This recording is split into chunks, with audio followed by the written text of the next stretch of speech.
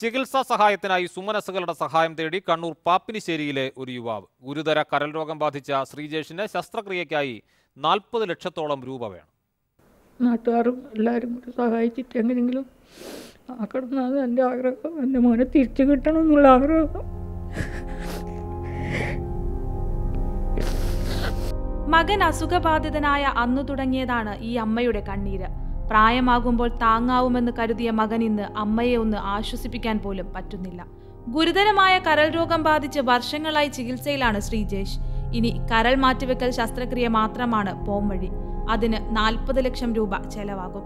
രോഗം ബാധിച്ച് ശ്രീജേഷ് കിടപ്പിലായതോടെ ഭാര്യയും മകനും അമ്മയും അടങ്ങുന്ന ആ കുടുംബം തളർന്നു. പിന്നീടുള്ള ചികിത്സയും നിത്യചെലവുമെല്ലാം നാട്ടുകാരുടെ സഹായത്തോടെയായിരുന്നു. തിരിച്ചു തരണം. പൈസ എല്ലാവരും സഹായിക്കണം. അച്ഛനോടൊപ്പം കളിച്ചു രസിക്കേണ്ട പ്രായത്തിൽ അച്ഛനെ നോക്കി കരയാനേ ഈ അഞ്ചാം ക്ലാസ്സുകാരന് കഴിയുന്നുള്ളൂ. സഫലിന്റെ അച്ഛന് വേണ്ടി നമുക്കും ഒരുമിക്കാം. ഏഷ്യാനെറ്റ് ന്യൂസ് കണ്ണൂർ.